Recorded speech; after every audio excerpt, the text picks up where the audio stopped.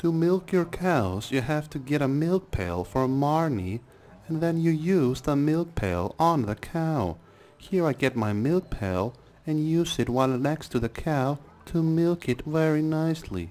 So if you need some milk, make sure you get a milk pail from Marnie at her ranch, shop thing, and then use it on the moo moo to get the milk -oo.